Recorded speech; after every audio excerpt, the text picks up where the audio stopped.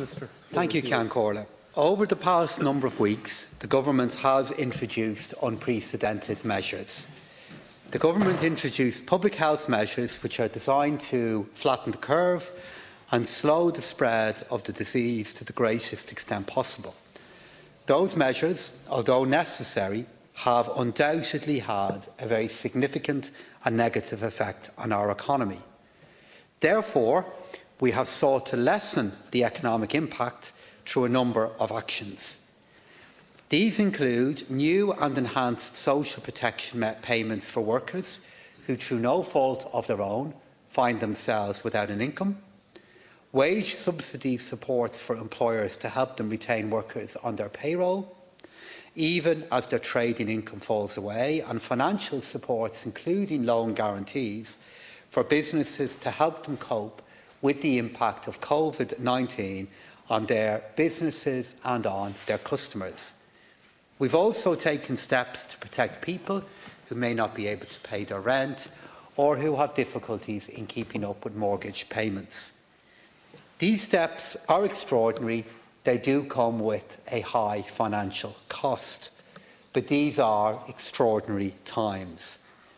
The budgetary costs and how we might have to pay for them in the future would be a cause of really significant concern, but they are little compared to the nightmare that some are living through at the moment if the necessary actions have not been taken to protect them.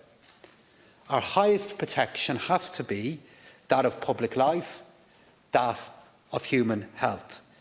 Preventing the spread of the virus and working to mitigate its impact on our country.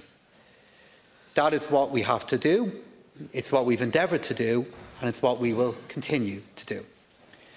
We passed two emergency pieces of legislation in the last couple of weeks, and at this point I want to thank all members of the Dáil for their cooperation in passing that legislation as we faced into such a crisis. In terms of social protection, we started by introducing an enhanced illness benefit scheme through the Health, Preservation and Protection and other emergency measures in the Public Interest Act of 2020.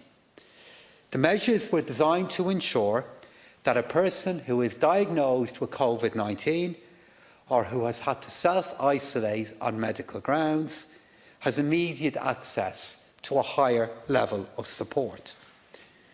This was increased at a rate of €305 Euro per week. It was subsequently increased to €350 Euro per week.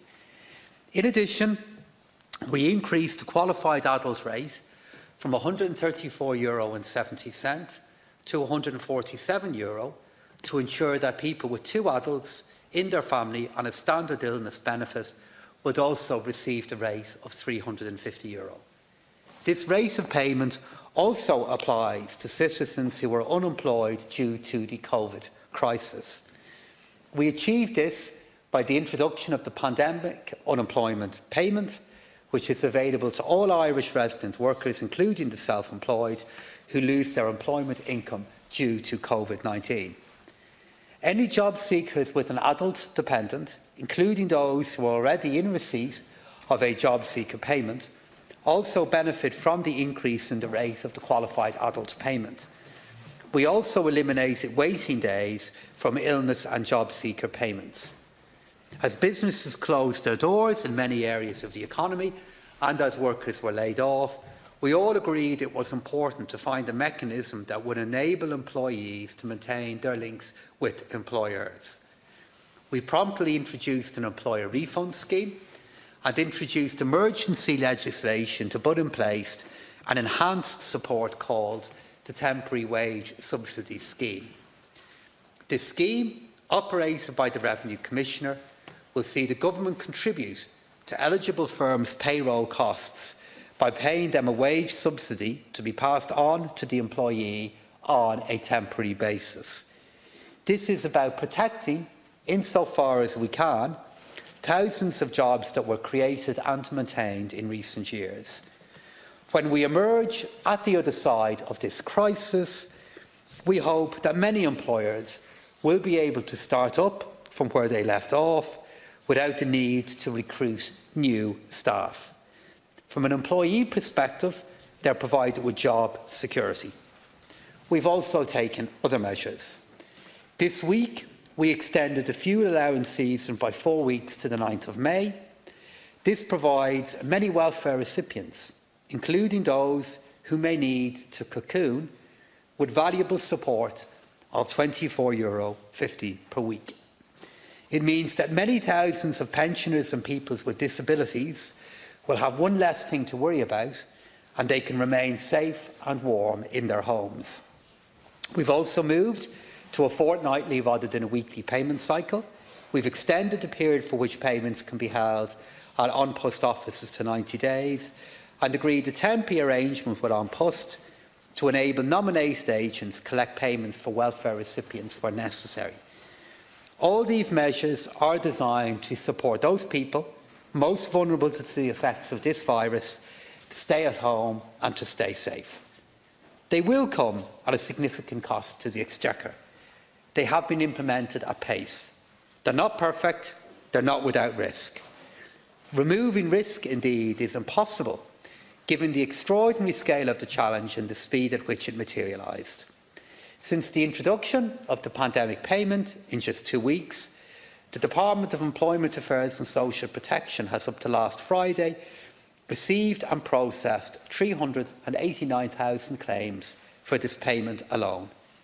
This is on the normal run of processing claims and payments that are made to pensioners, people with disabilities, other job seekers and one-parent families, amongst others. The Department has been required to develop and implement new systems to create new functions. Normally, this would have taken months of coding and testing. It has also introduced new claim application and processing functions, and it continues to provide ongoing communications to the public through print, through broadcast and through social media as well as through very busy helplines. It has reassigned thousands of staff in order to ensure that people's claims are processed as quickly and as accurately as possible.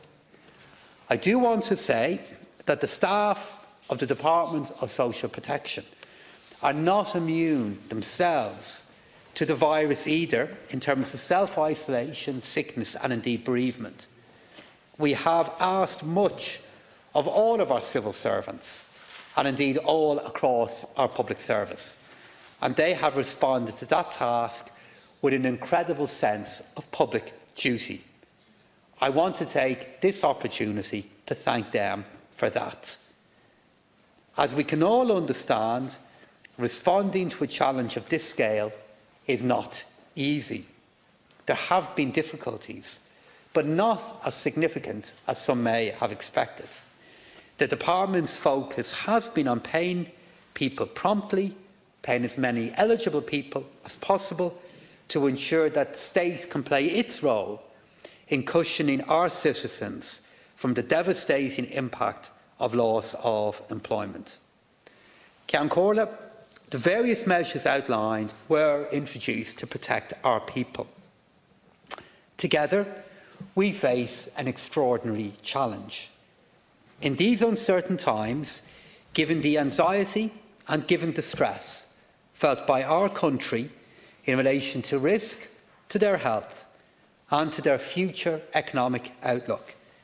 It was, I believe, crucial that we did all we could to reassure citizens. We acted fast so as not to further create a heightened sense of fear, a heightened sense of unease in communities. We may not have got, and we did not get, everything perfect. But much of what we did was, I believe, good. And I think we have shown again that this country can rise to significant challenges and that its people can and do support each other at a time of great need.